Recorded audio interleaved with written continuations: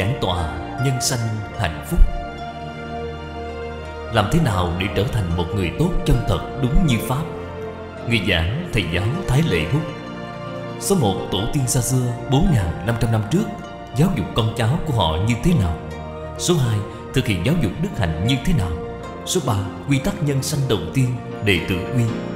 Ngày 20 tháng 11 năm 2004 Thành phố Hải Khẩu, Trung tâm Dở Lòng Quốc học Hiếu Liêm. 15 Các vị bằng hữu, chào mọi người, buổi tối. Chúng ta vừa mới nhắc tới Trưởng ấu hữu tự, Chính là anh em yêu thương nhau. Đã nêu ra một số thí dụ Điển hình của Thánh Hiền ngày xưa. Có thể cảm nhận được Tình cảm anh em của các bậc Thánh Hiền ngày xưa. Thật là sâu nặng.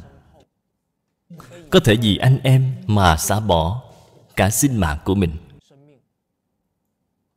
Huống hồ là những tài vật, những thứ khác ở ngoài thân đều có thể vì tình anh em mà biết nhường nhịn,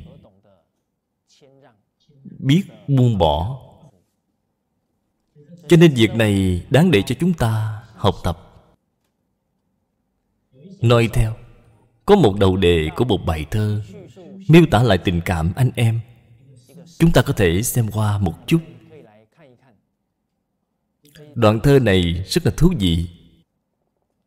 Đoạn thơ này nói, Huynh đệ liên chi, Các tự vinh. Chúng ta xem câu thứ nhất. Huynh đệ liên chi, các tự vinh. Huynh đệ ở đây là anh chị em ruột Là được sinh ra từ Cùng cha và mẹ.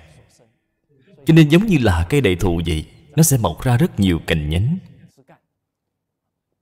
Mỗi mỗi đều phát triển, Mỗi nhánh đều có thể Dương dài ra, Đều có thể cành lá xum xuê.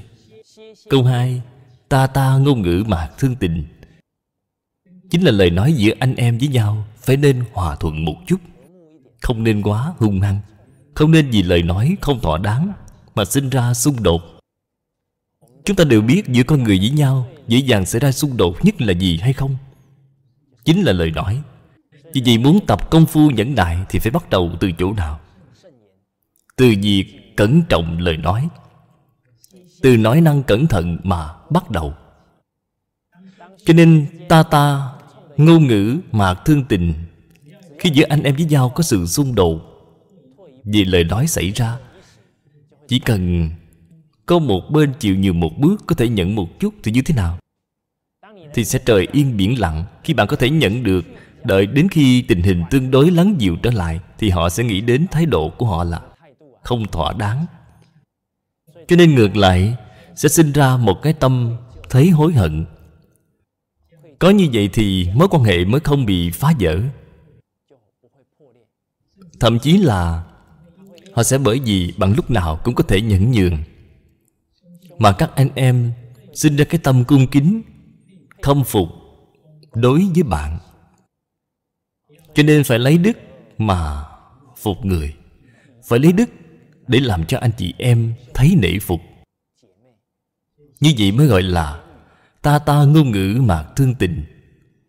Câu tiếp là nhất hồi tương kiến. Nhất hồi lão. Sau khi chúng ta được 30, 40 tuổi rồi Cái cảm giác này sẽ rất là mãnh liệt. Mỗi lần gặp nhau có thể là một năm gặp được không tới hai ba lần. Mỗi lần gặp nhau dường như là nếp nhăn trên mặt đều nhiều hơn một chút. Hoặc là tóc bạc sẽ nhiều hơn một chút. Bởi vì năm tháng làm con người già đi cho nên phải trân quý cơ hội thân mật, hữu ái giữa anh em với nhau. Cho nên mà nhất hồi hướng, kiến nhất hồi lão Năng đắc kỹ thời vi đệ quynh Từ câu nói này chúng ta cảm nhận được Con người thời xưa rất xem trọng tình cảm anh em. Có một nhà nọ có ba anh em. Mỗi lần các anh em gặp nhau thì nhất định là ba anh em đều ngủ chung một giường. Họ thân đến nỗi các cô vợ cũng cảm thấy ghen tị.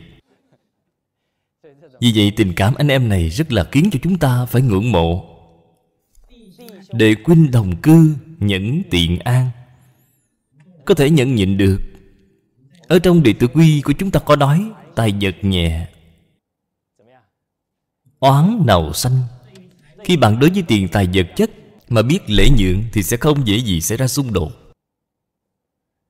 Chúng ta xem trong tiếng Trung Quốc Chữ tài này là tài của tài vật. Nó lại hàm chứa một ý nghĩa khác nhau. Đó là tài. Ở trong mộc tài Nghĩa là củi gỗ. Củi gỗ khi đủ dùng thì đủ sử dụng. Còn khi mà đóng củi của bạn chất đóng rất nhiều, rất nhiều Rất có thể do mặt trời phơi nắng nhiều quá Thì sẽ bị bốc cháy. Cho nên nếu gỗ của bạn quá nhiều Thì rất có thể khiến cho nó dễ dàng từ bốc cháy cho nên khi bạn chỉ biết thu gom tiền bạc, Thì thực tế Phúc phần của bạn Đang bị hao tổn, Đang tổn phước.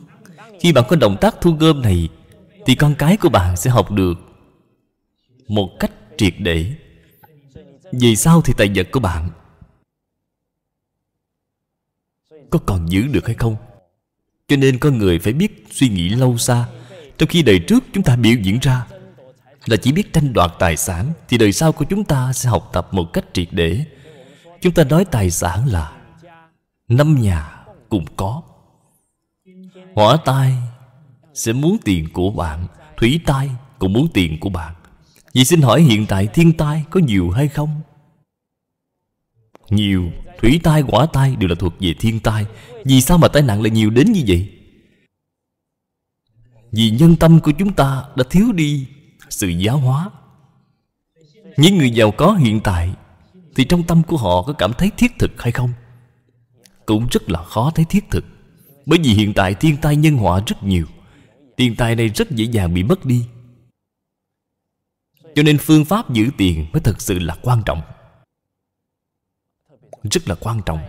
Trong những năm đầu dân quốc, thì cháu trai của ông tăng quốc viên là ông nhiếp dân đại Ông đã có một khoảng thời gian Sống mấy năm ở Thượng Hải. Mà Thượng Hải là một nơi Mà có người ta phát tài Và phá sản rất là rõ rệt. Ông nhiếp này đem chân tướng sự thật để nhìn thấy được trong mấy mươi năm này. Dùng bút ghi chép lại, Nhìn thấy con người Có lúc giàu có, Giàu hàng bậc nhất và đến sau cùng cũng bị phá sản cho nên liền nêu ra đạo lý, Làm thế nào mới thật sự giữ được, Có thể nắm giữ được tiền bạc. Cho nên chúng ta chăm lo Cho một gia đình, Rốt cuộc làm thế nào để giữ gìn được tiền bạc của chúng ta? Cái lý này bạn không thể không biết.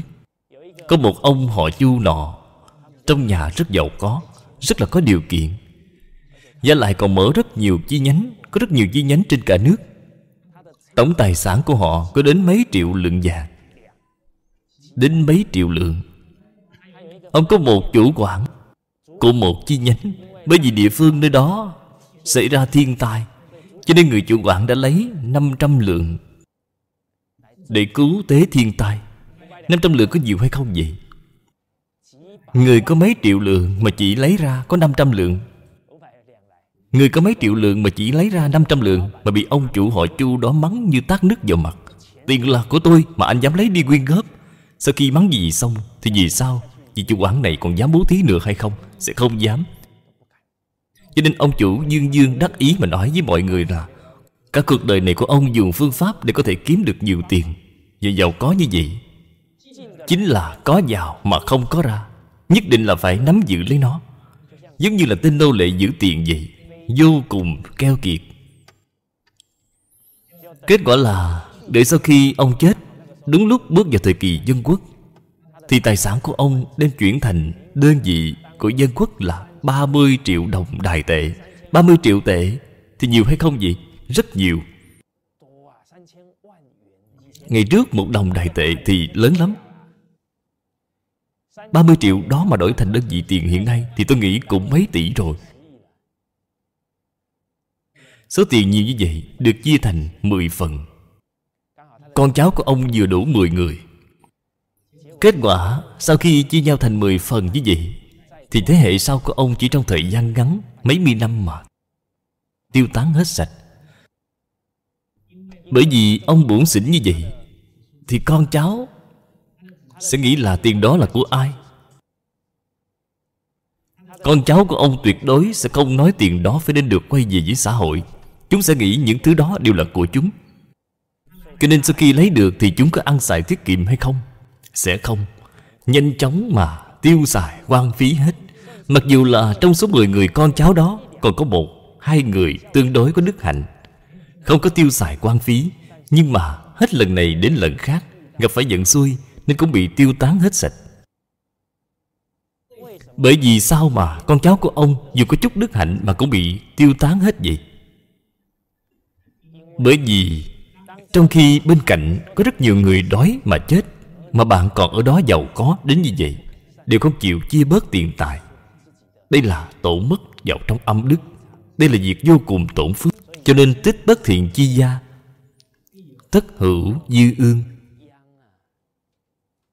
Lời trong kinh dịch đều là chân thật bất hư, Cho nên cái dư ương này chính là tai ương, Cho đến con cháu đời sau. Cho nên nếu chúng ta thật sự không hiểu được đạo lý của việc làm giàu, Thì có thể là trong đời này Sẽ làm ra rất nhiều việc, khiến cho con cháu học tập những thái độ và phương pháp sai lầm này. Cho nên người không rõ lý thì rất khó để có thể chăm lo cho gia đình có dạy dỗ tốt con cái. Cho nên cái nhân chân thật của giàu có vẫn là phải bố thí nhiều một chút. Đương nhiên, giữa anh em với nhau thì bạn cũng phải biết bố thí. Vậy thì sẽ không có việc tranh chấp. Có một câu nói, Người ta nợ bạn Thì trời sẽ trả. Trời ở đây là thiên lý. Phúc phần của bạn sẽ như nước chảy mãi, Tất thành sông. Có người mà không thể có được một lúc nhẫn Thì có thể sẽ làm ra một số việc trái nghịch. Với đức hạnh. Cho nên đời trước chỉ biết tranh đoạt, Thì đời sau chẳng có tấm gương tốt, cho nên phải có thể nhẫn nại. Mạc nhân hào mạc, Khởi tranh đoan. Hào mạc ở đây có nghĩa là Không nên vì những sự việc nhỏ nhặt Mà anh em tranh cãi nhau. Cái đến là nhãn tiền sinh tử, Hữu huynh đệ. Như là anh chị em lại sinh ra con cái Thì chúng lại có anh em nữa. Cho nên đời này của chúng ta Phải làm ra tấm gương tốt. Câu cuối cùng là Lưu giữ tử tôn tố dạng kháng. Cho nên việc này là vô cùng quan trọng. Lúc đầu chúng ta đã nêu ra thí dụ về triều nhà Chu Khi mới lập quốc Thì các vị hoàng đế, thánh nhân Đã làm ra tấm gương về hiếu đệ Cũng bởi vì có tấm gương tốt đến như vậy mà họ đã có thể trị vì đất nước, Được 800 năm, Trở thành triều đại lâu dài nhất trong lịch sử. Vì vậy, sự lâu dài của triều đại Không phải là một chuyện ngẫu nhiên. Một gia tộc có thể hương dường mấy trăm năm Cũng nhất định không phải là chuyện may mắn. Cho nên các vị bằng hữu, Gia tộc của các vị, Gia đình của các vị, Muốn hương dường được bao lâu? Bạn phải có chí hướng Thì mới dạy ra được những người Con người cháu tốt được. Trong quá trình anh chị em sống chung với nhau, vẫn còn một điểm rất là quan trọng. Khi anh em có lỗi lầm, thì chúng ta phải nên như thế nào? Khi anh em có lỗi thì có thể bỏ mặt không thèm nhìn hay không? Không được. Bạn bỏ mặt không nhìn thì có thể họ càng đi càng sai hơn. Chúng ta làm sao có thể nhẫn tâm mà nhìn thấy thủ túc của mình tiếp tục con đường sai lầm được chứ? Cho nên, anh em với nhau thì cũng phải biết khuyên giải. Vậy thì dùng phương pháp gì để khuyên? Chúng ta muốn khuyên người khác, trước tiên là nhất định phải suy nghĩ. Nghĩ đến sự tín nhiệm của anh chị em đối với mình, đến được mức độ nào? Mà phần tín nhiệm này nhất định là phải được tích lũy từ trong việc chung sống thường ngày. Bạn không thể đợi đến khi thật sự muốn khuyên bảo họ thì mới chợt nhớ ra là lúc bình thường dường như không hề gọi cuộc điện thoại nào. Lúc đó mà đi khuyên bảo Thì họ sẽ cảm thấy không thể tiếp nhận được, Cho nên tín nhiệm càng cao Thì hiệu quả của việc khuyên bảo càng tốt, Cho nên rất nhiều công phu phải được xây dựng từ khi nào. Lúc bình thường thì đã phải làm rồi. Người xưa khi khuyên bảo anh em của mình Thì đều vô cùng có tính nhẫn nại, Cũng rất có trí huệ. Vào trường nhà Minh, Có một người đọc sách Tên là Trần Thế Ân. Em trai của ông Mỗi ngày ở bên ngoài, Chơi bời liêu lỏng, Không làm việc gì. Người anh em nhìn thấy rất là tức giận. Mỗi ngày em trai đến tận nửa đêm Canh ba mới trở về. Người anh em đều mắng rất nhiều. Tức giận vô cùng. Kết quả kéo dài một thời gian, Người em trai có thay đổi hay không vậy? Có thay đổi hay không? Sao các vị biết hay vậy? Các vị đã nhìn thấy rồi sao? Các vị đều có thể thể hội được. Người trưởng thành Thì việc khó buông bỏ nhất là cái gì? Sao các vị biết luôn vậy? Mọi người đều rất là có trí huệ. Khó buông bỏ nhất chính là thể diện. Thể diện hiện nay bao nhiêu tiền một cân vậy? Chúng tôi nói nếu muốn tăng trưởng học vấn, Thì việc đầu tiên là phải đem thể diện của mình bán nó đi. Phải bán cho hết sạch. Gọi là tri sĩ cần hồ dũng. Phải biết bản thân mình đã có rất nhiều lỗi lầm Thì không nên chú ý đến sĩ diện nữa, Thì học vấn mới có được sự vượt bậc lớn lao. Mới có thể đối diện với sai lầm. Nhưng mà khi chúng ta đang khuyên bảo lỗi lầm của người khác Thì vẫn phải chú ý đến sĩ diện của họ. Cho nên Trần Thế Ân đã nói với người anh trai, Nói rằng, anh à Anh đừng mắng em đó nữa. Để em lo việc này thử xem sao. Vào buổi tối hôm đó, Trần Thế Ân liền đứng ở ngay cửa Để đợi em trai về. Kết quả xem, Thời gian thì đã hơn nửa đêm rồi. Thì em trai của ông mới bước trở về. Giờ lúc này, Thì bạn sẽ nói như thế nào? Bạn ở đó đợi đến 11 giờ Rồi 12 giờ, Thì bạn sẽ như thế nào? Có phải là lửa bắt đầu bốc lên rồi hay không? Cho nên rất nhiều lúc Phải dựa vào sự tu dưỡng của chúng ta, Dựa vào công phu nhẫn nại của chúng ta. Cho nên có một câu nói hết thầy Pháp, Cần phải thành tựu. Từ công phu nhẫn nại. Khi em trai của ông trở về, Ông liền đi tới sờ người của em trai. Em trai à Em mặc ít quần áo như vậy có lạnh hay không? Sau đó lại nói với nó, Chắc là em đói rồi, phải không? Để anh bảo chị dâu nấu cho em một tô mì. Sau đó đưa em trai Vào nhà, Còn tự tay mình khóa cửa lại. Sau đó, Theo đứa em vào trong nhà Đến ngày thứ hai Vẫn làm như vậy Đứng ở cửa để đợi. Ngày thứ ba, ngày thứ tư đều làm như vậy. Với lại khi gặp người em này trở về đều là tràn đầy Sự quan tâm, chăm sóc Tràn đầy tình yêu thương Dắt người em vào. Kỳ thực một người ở bên ngoài chơi bời liêu lỏng Thì họ có cảm thấy thật sự vui vẻ hay không? Họ sẽ cảm thấy trong nội tâm thật là trống rỗng. Cho nên khi người em có thể cảm nhận được Sự yêu thương của người anh Thì người em sẽ dần dần bắt đầu Quay đầu. Không có người nào tự mình lại ưa thích việc xa ngã. Chỉ cần bạn cho họ một bậc thềm để đi xuống Chỉ cần bạn khiến cho họ biết được Phải đi theo phương hướng nào mới là đúng. Bạn kéo họ một tay thì không có ai mà không bằng lòng tiếp nhận. Nhưng mà cái phương pháp như vậy Có thể khiến đối phương cảm động, tiếp nhận. Việc này phải nhờ vào sự tu dưỡng Và trí huệ của chính mình. Cho nên vì sao người em này Đã không còn đi ra ngoài chơi bời nữa? Chúng ta cũng thường được nghe những câu chuyện về giáo dục, đạo đức. Thì cảm thấy vì sao mà người xưa đều có thể diễn ra những màn kịch hay như vậy? Vì sao mà chúng ta lại không thể biểu diễn được kịch hay Và lại còn diễn ra toàn kịch xấu? Dường như là cứ luôn phải hối hận. Vấn đề là ở đâu? Tu dưỡng. Cho nên bất kỳ việc gì muốn thành tựu Thì nhất định phải từ sự tu thân của chính mình mà bắt đầu, Chứ không phải yêu cầu một người nào khác. Cho nên trong quyển đại học đã nhắc nhở chúng ta một câu rất quan trọng, Chính là tự thiên tử dĩ chí ư thứ nhân. Bất luận bạn là thiên tử cũng vậy, Bất luận bạn là nhân thường cũng vậy. Trong cuộc đời này, nếu bạn muốn có sự nghiệp, bạn cuộc đời này muốn chăm lo gia đình được viên mãn, thì phải bắt đầu từ điểm nào vậy? Từ tu dưỡng chính mình. Công phu tự tu thân, cho nên nếu người thân bạn bè bên cạnh ta không cảm động được, thì vấn đề là ở ai?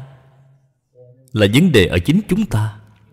Bởi vì đức chưa tu, đạo đức chưa đủ, cho nên cảm chưa tới, không có cách nào khiến cho người khác cảm động. Cho nên nhà nho có một câu tâm pháp. Chỉ cần câu tâm pháp này bạn thường xuyên để ở trong tâm vậy thì học vấn nho gia của bạn sẽ rất cao. Gọi là hành hữu bất đắc.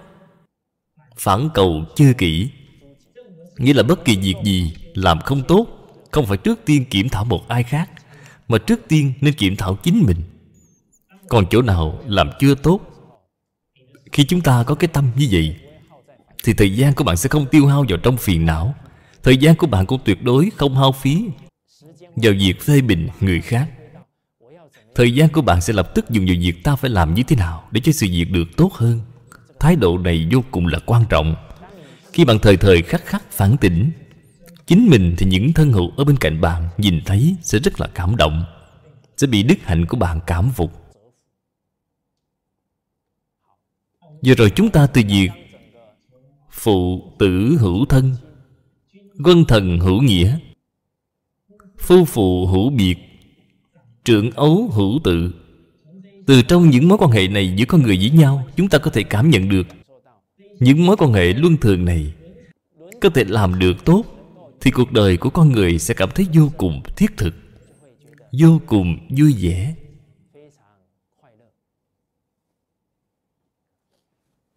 Chúng ta nói, Cuộc đời phải theo đuổi hạnh phúc.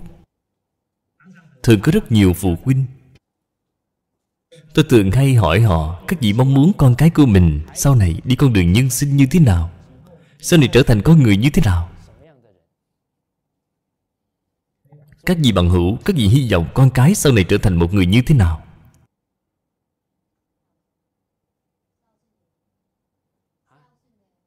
Là một người hiếu thuận à? Tốt, rất tốt. Nào hãy cho vị bằng hữu đi một tràng pháo tay. Trong tâm bạn phải có suy nghĩ qua rồi. Bởi vì bạn là người dẫn đường cho con cái, Rất nhiều quan niệm tư tưởng là nhờ vào bạn dung trồng cho chúng. Giống như cuộc đời của bạn Là sống ngày nào tính ngày đó, Không có mục tiêu gì, Vậy thì bạn sẽ dẫn dắt chúng đi gì đâu? Cho nên khi cha mẹ cảm thấy việc hiếu thuận rất là quan trọng, Giúp đỡ cho con cái cắm gốc rễ, Vậy thì cả cuộc đời của nó sẽ được lợi ích. Chúng ta ngày trước cũng đã nói đến, Muốn dung trồng cái gốc hiếu thuận cho con cái Thì phải bắt đầu từ đâu? Từ chính mình lấy thân làm gương mà bắt đầu. Còn các gì khác thì sao? Bạn cảm thấy bạn hy vọng cuộc đời con cái của mình sẽ trở nên như thế nào? Phương hướng cuộc đời sẽ đi về đâu? Đã có suy nghĩ qua hay chưa? Dĩ như chúng ta đều không có suy nghĩ qua, Vậy thì mỗi ngày đang dẫn dắt con cái đi về đâu? Có một số phụ huynh, họ sẽ lập tức nói là, Kỳ thực, tôi cũng không có hy vọng về sau. Nó giàu hay phú quý gì đâu. Tôi chỉ hy vọng nó có thể sống vui vẻ một chút là được rồi. Nghe ra thì thấy, Nguyện vọng này cũng rất là nhỏ. Trên thực tế thì rất khó làm được. Tôi liền hỏi lại, Tôi nói, anh nói vui vẻ là được. Vậy thì xin hỏi anh có cảm thấy vui vẻ hay không? Họ liền suy nghĩ, Đúng à Tôi nói tiếp, anh nếu như còn không vui vẻ được Thì làm sao có thể dạy cho con cái vui vẻ được chứ? Phụ huynh hiện nay đều đẩy con cái gì đâu vậy? Đều đẩy con cái theo phong trào. Chính là chủ nghĩa lên lớp. Chính là cứ thi cử rồi thi cử. Sau đó thì như vậy mà học lên cao. Con đường này mà đi thì có vui hay không? Có hay không? Sẽ không. Vì những người cha người mẹ hy vọng con cái mình được vui vẻ này Cũng đã dắt chúng đi theo con đường của mình rồi. Cho nên con người thường hay chỉ ngồi ở đó mà nghĩ. Rốt cuộc thì con đường đi đó có đúng hay không? Thì không suy nghĩ qua. Rốt cuộc hạt giống trồng xuống đó đúng hay không? Có trồng đúng hạt giống để cho đời sau của họ được hạnh phúc vui vẻ hay không? Đều là không biết. Chỉ ngồi ở đó mà muốn sau này chúng được hạnh phúc vui vẻ. Đây là việc không thể nào đạt được. Tôi cũng là bị đẩy vào cái con đường này. Chủ nghĩa lên lớp. Cơ sở thi lên phổ thông. Phổ thông rồi lên đại học. Ban đầu tôi vốn có hoài bão của Phạm Trọng Im. Kết quả là thi cử cho đến sau cùng thì như thế nào? Lòng dạ đều nhỏ hẹp. Đi đâu cũng tính toán với người ta. Nhìn thấy người ta thi kiểm tra hơn tôi Nửa điểm thì trong lòng đã thấy không thoải mái rồi. Thật vậy, Có người cạnh tranh nhau như vậy. Có người như vậy chỉ biết gì dự tính của chính mình. Cả tâm lượng càng ngày càng nhỏ hẹp. Tư tưởng quan niệm của con cái chúng ta Chỉ cần càng nhỏ hẹp, Lòng dạ càng hẹp hòi, Thì cuộc đời này đã được chú định sẵn Là không thể vui vẻ hạnh phúc rồi. Cho nên có một câu tục ngữ nói, Vui vẻ không phải là có số nhiều, Mà là có ít sự tính toán. Cho nên không so đo tính toán Thì mới khiến cho con người thật sự vui vẻ, hạnh phúc. Chúng tôi tiếp nhận giáo huấn Thánh Hiền Trong năm sáu năm nay. Vốn là không tính toán như người ta. Bởi vì không tính toán thì ngược lại Có càng nhiều Đây là chân lý. Người yêu thương người, Thường được người yêu lại. Người kính người, Thường được người kính lại. Chúng ta xem thấy cư sĩ hứa triết của Singapore Là một người thanh niên 101 tuổi. Bởi vì sức khỏe của bà còn tốt hơn cả tôi. Bà ngồi yoga được, Còn tôi thì không. Tinh khí, thần rất tốt, Đến như vậy. Bạn xem bà việc gì cũng nghĩ thay cho người khác, Không hề tính toán với ai. Cho nên trong tủ lạnh của bà, Xưa giờ không hề thiếu đồ ăn. Xưa giờ không mua đồ ăn. Đồ ăn từ đâu mà có vậy? Bà cũng không biết. Nhưng mà tôi nhìn thấy bà thì không biết. Tôi thấy những người tặng thức ăn này cho bà Hoàn toàn không để lại tên tuổi. Trong việc này là có học vấn. Bởi vì bà hứa triết trong lúc phụng hiến vì xã hội Thì đúng là không hề có mong muốn được người khác đền đáp. Cho nên người khác nhận được điều rất là cảm động. Cho nên luôn nghĩ là một khi có cơ hội báo đáp cho bà, Thì liền báo đáp mà cũng không muốn bà biết đó là ai. Có người thế gian chúng ta Khi ra sức làm gì đều có mục đích. Sách giỏ quà tới tặng, Đều nói nào món quà này là tôi tặng cho anh, Đây là có ý gì? Là muốn nói với mọi người Anh đang nợ tôi một ân tình. Người khác nhận được cũng cảm thấy là Của biếu là của lo, Của cho là của nợ. Họ cũng có áp lực. Vì thế hiện tại ân tình đưa qua tặng lại như vậy Thì cũng không được thoải mái cho lắm. Nhưng bà hứa triết này Bỏ sức ra như vậy mà không cầu được báo đáp, Nên đã thức tỉnh được sự vô tư Ở trong nhân tâm con người. Cho nên ai đem rau trái đến tặng cho bà Bà cũng đều không biết. Cho nên thực sự đối tốt với người Thì người ta sẽ đối tốt với bạn. Cuộc đời như vậy thì sẽ rất là vui vẻ. Và lại khi tâm bạn mở ra, Không tính toán với người nào khác. Trong tâm thường được tự tại nhẹ nhàng. Cho nên rốt cuộc là Cuộc đời như thế nào, hạt giống như thế nào thì mới có thể khiến cho con cái của bạn thật sự được vui vẻ, hạnh phúc. Hiện giờ chúng ta phải suy nghĩ xem phải trồng loại hạt giống nào từ trong những luân thường đại đạo. Để nói thì chúng ta cũng thể hội được cái thiên luân chi lạc. Cái thiên luân chi lạc này so với việc thế gian ăn một tô mì ngon thì cảm giác đó tuyệt nhiên không như nhau. Niềm vui của thiên luân là khi cha mẹ chúng ta nhìn thấy anh chị em chúng ta vô cùng thương yêu nhau, biết đoàn kết với nhau. Thì cha mẹ vui như thế nào? Vui cả cuộc đời. Cho nên mạnh tự nói, đời người có ba niềm vui. Có ba niềm vui trong một cuộc đời. Niềm vui thứ nhất là gì? Phụ mẫu câu tồn. Đây là mạnh tử nói ba niềm vui của đời người. Phụ mẫu câu tồn. Huynh đệ vô cố. Cha mẹ đều được khỏe mạnh. Anh em đều không có xích mích, Đều có thể thường xuyên tụ hợp lại, Khuyến khích lẫn nhau, Nâng đỡ phù trợ nhau. Đây là niềm vui thứ nhất của đời người, là thiên luân chi lạc. Cho nên hiện tại có cha mẹ để phụng dưỡng thì đó là một việc vui lớn của cuộc đời. Hôm nọ, Một vị bằng hữu của chúng tôi Nói khi cô học đại học, Cô giúp cho cha của mình gọi đầu. Một vị giáo viên nữ của chúng tôi Nói đã giúp cho cha gọi đầu. Cha của cô cúi đầu vào bồn rửa tay, Cho nên rất là khó gọi, Nên tự tay cô đã giúp ông gọi đầu. Sau khi tôi nghe xong thì rất là ngưỡng mộ, Vì sao vậy? Vì tôi không có cái cơ hội như vậy. Cuộc đời khi mà máu ân Thì trong lòng của bạn sẽ cảm thấy rất thoải mái, Rất thiết thực. Cho nên tôi liền nghĩ Giả sử sau 10 năm nữa Tôi có cơ hội Có thể cùng chung sống với cha mẹ Thì tôi có thể chăm sóc từng chút cho cha mẹ. Vậy thì trong lòng của chúng ta mới thật sự là vui. Mà đạo đức học vấn của bạn Cũng tăng theo sự tận tâm, tận lực Phục dưỡng cha mẹ này. Cho nên vào ngày xưa Những người có đạo đức học vấn Đều là hiếu tử Bởi vì tâm hiếu mà cùng với đạo đức học vấn, Thì tâm lượng của một người sẽ biểu lộ ra bên ngoài. Một người con hiếu, Cái nhìn thấy cha mẹ của người khác sẽ như thế nào? Cũng sẽ sanh tâm, Cung kính. Một người có tâm hiếu Thì nhìn thấy con cái của người khác, Thì họ cũng tuyệt đối không bắt nạt chúng. Bởi vì họ sẽ nghĩ đến, Nếu mình bắt nạt chúng Thì cha mẹ của chúng sẽ rất đau lòng.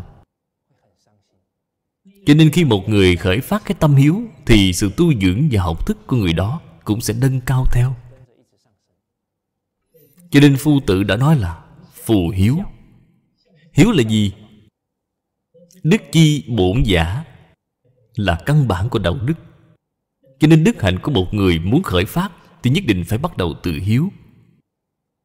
Chúng ta xem tiếp theo là Huynh đệ vô cố.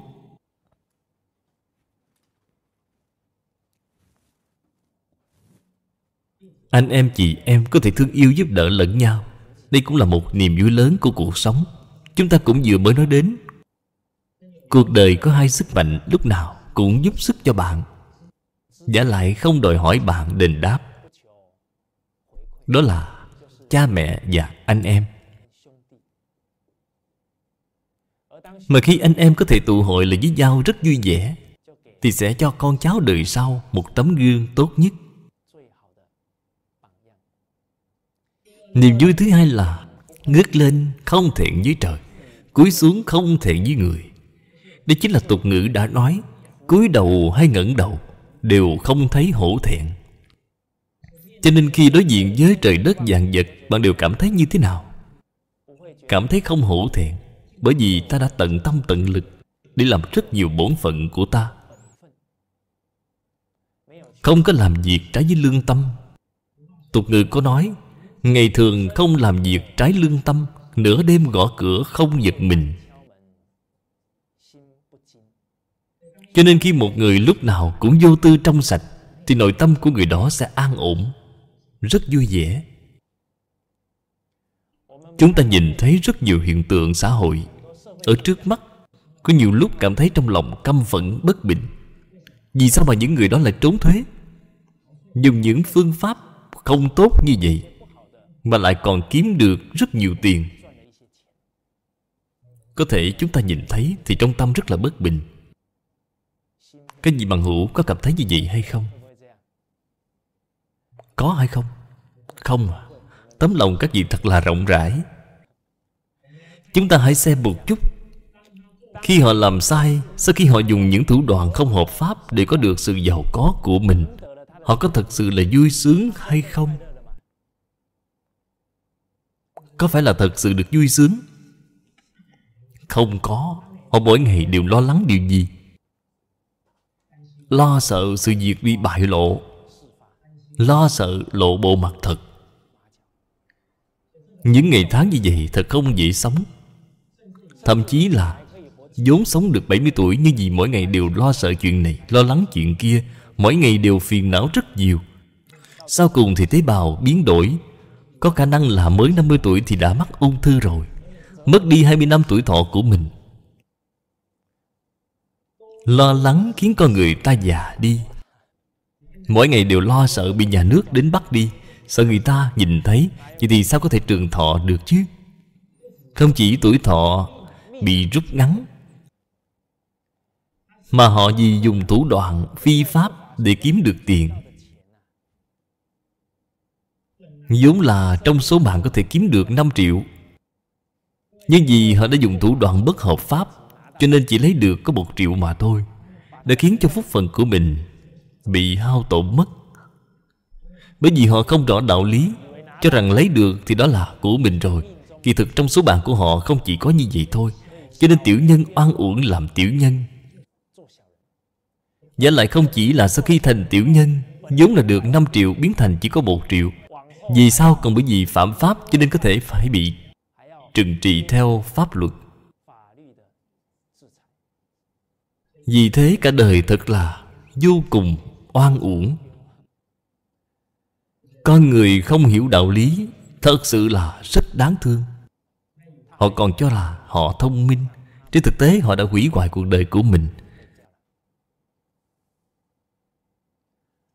Cho nên chúng ta đối người xử sự phải đường đường chính chính, Thì trong lòng mới có thể thản nhiên được, Mới an ổn được. Đây là niềm vui thứ hai của cuộc đời. Mà người sống không phải thẹn với lòng, Thì cuộc đời khí tiết, Chính trực, Lẫm liệt, Tôi nghĩ rằng sẽ sống đến trăm tuổi. Mà không thẹn với người, Chính là không có lỗi với ai.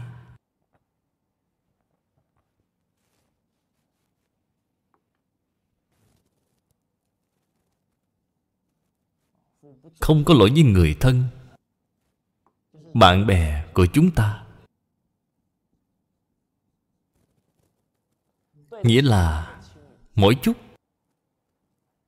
Đều đã tận hết bổn phận của mình rồi Thì mới được. Hiện tại rất nhiều người làm cha, Ngày ngày đều du sơn ngoạn thủy, Nơi họ thích núi, Họ thích biển. Nhưng mà việc dạy dỗ con cái ở nhà Thì như thế nào? Đều không quản tới. Xin hỏi người như vậy Thì có thể nói là không thẹn với ai hay không? Có hay không?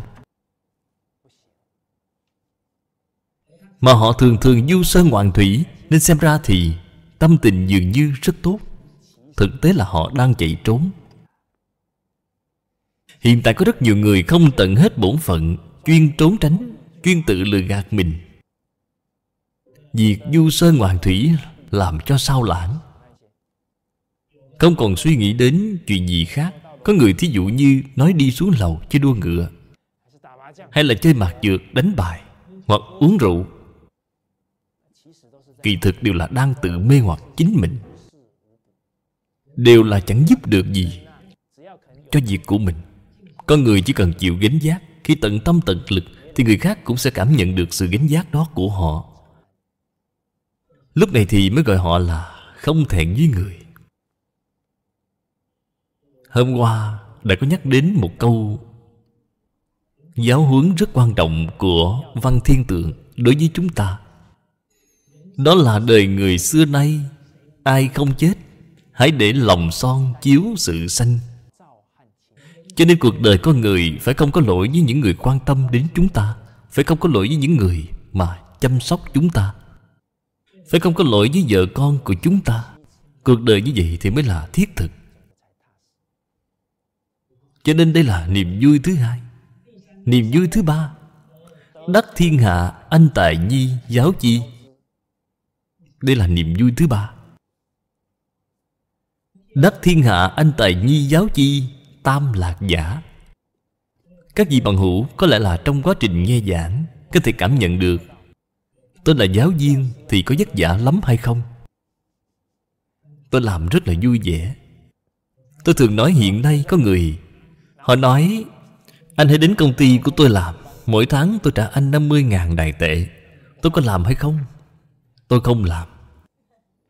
Tiền làm đủ dùng là được rồi. Thật sự là cảm thấy vui vẻ.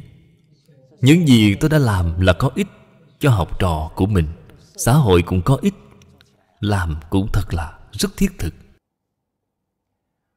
Nhìn lại hơn một năm qua của tôi Chúng tôi đã làm được hơn 300 buổi về giảng tòa văn hóa truyền thống. Quay đầu nhìn trở lại, Cả đời tôi Xưa nay chưa có cảm giác tốt đến như vậy. Thật vậy, cho nên trong lòng rất vui sướng.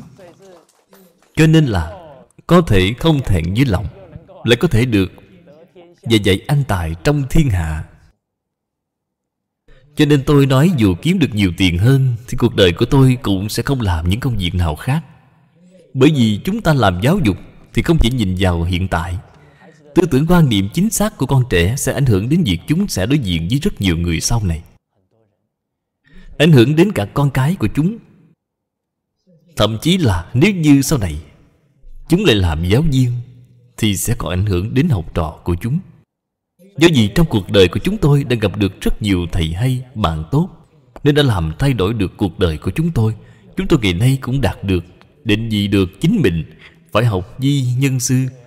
Tiếp đến là có thể thành tựu được cuộc đời cho người khác.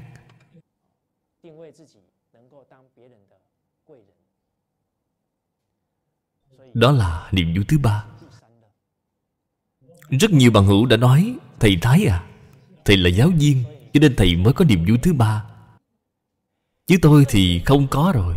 Nghĩa lý của thánh nhân tuyệt đối không phải hạn chế ở một góc độ nào đó. Khi chúng ta chân thật Toàn tâm đi giúp đỡ người khác Đi dẫn dắt người khác Người khác khi tiếp nhận sự giúp đỡ, sự giáo huấn của bạn Họ cũng sẽ ghi nhớ suốt đời. Cho nên những khi Chúng ta trò chuyện với các bằng hữu Họ thường hay nói họ vào được công ty nào đó. Chính là bởi vì họ nhờ có một ai đó Đã chỉ bảo từng chút một. Thậm chí, Nhớ lại khi mới đến, Bởi vì chưa quen. Và cũng mang không đủ đồ dùng. Sau đó cũng là như một vị đồng nghiệp Đã đem cho một cái mền vậy cho nên khi vị bằng hữu nói gì một người bạn của anh thì tâm của anh như thế nào? Xem người đó như thế nào? Xem như một người thầy hay, Bạn tốt Trong cuộc đời. Cho nên khi bạn bè bên cạnh bạn, Nhắc đến bạn Mà đều cảm động đến như vậy, Tôn kính đến như vậy Vậy thì cuộc đời của bạn Đã thành tựu được những người này rồi. Bạn ở trong mắt của họ Chính là một người thầy. Cho nên bất luận là ai chỉ cần bạn toàn tâm toàn ý Để đối đãi với người. Người khác sẽ rất là tôn kính đối với bạn, Để bạn làm thành tấm gương học tập. Cho nên bạn cũng là người đắc Và dạy những anh tài trong thiên hạ.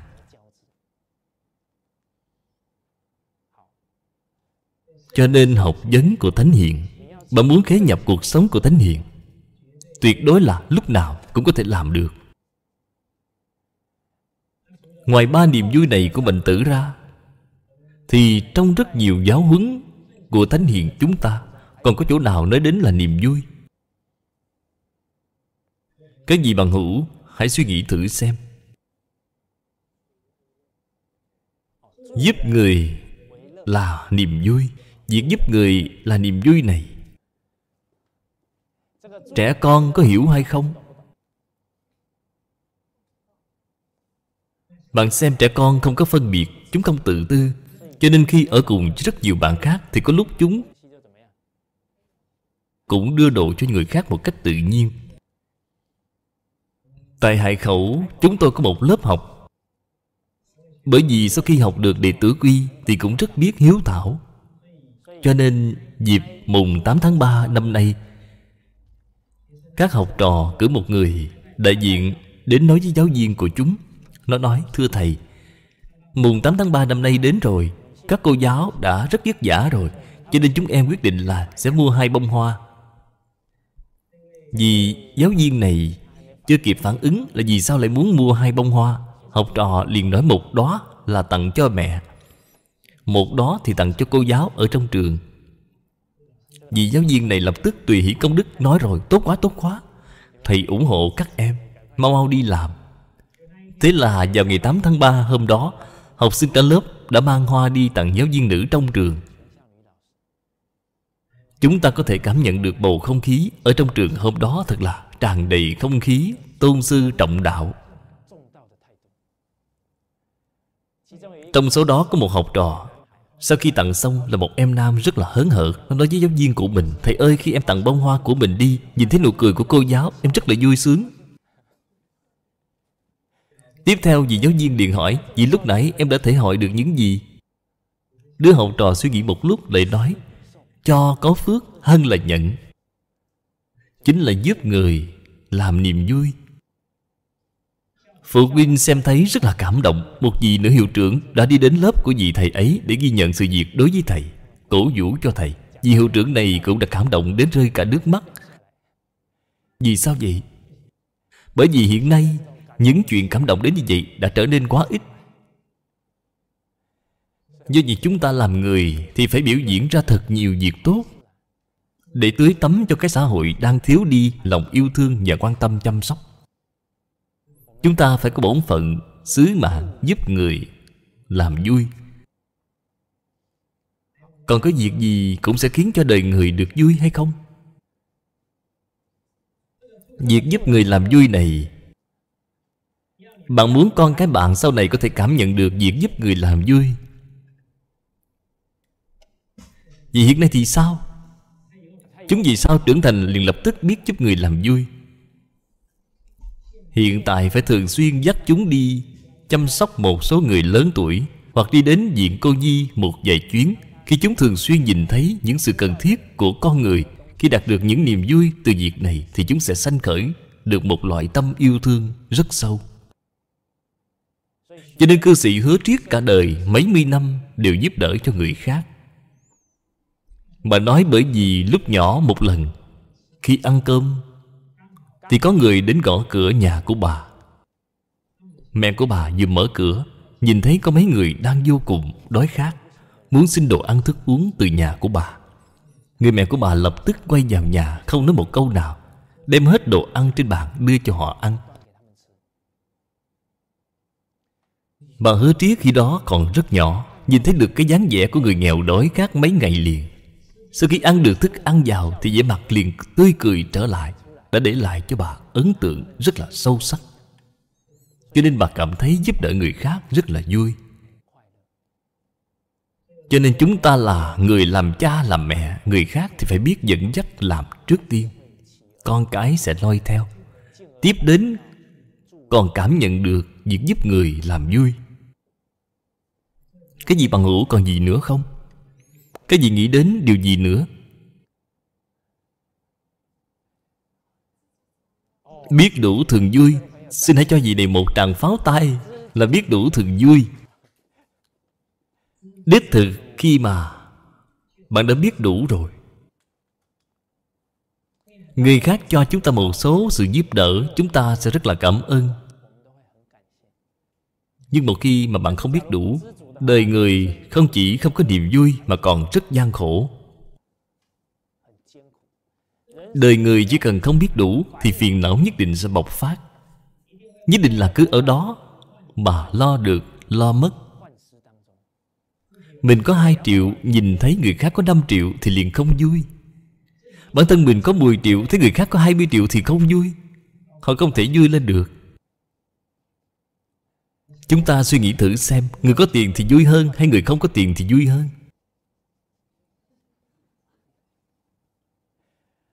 Rất nhiều người đều cảm thấy đời người chỉ cần có tiền thì sẽ được hạnh phúc.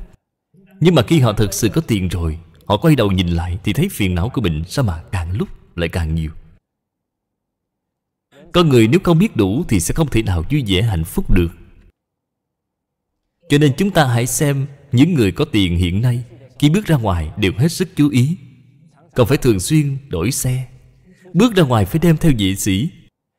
Không những họ có cuộc sống rất căng thẳng, mà ngay cả con cái của họ đi học tan trường đều phải có rất nhiều người hậu tống. Nếu như bảo tôi làm con của một người có tiền thì tôi sẽ không làm. Khổ sở quá đi mất. Cho nên người có tiền thì phiền não hơn là người không có tiền rất nhiều họ còn nghĩ đến, giả như những đứa con này của tôi không thành tài, thì số tiền này của tôi sẽ làm như thế nào? Còn ngày ngày lo lắng tiền có bị ít lại hay không? Ngày ngày phải suy nghĩ, Họ nên đem cổ phiếu đầu tư vào đâu được?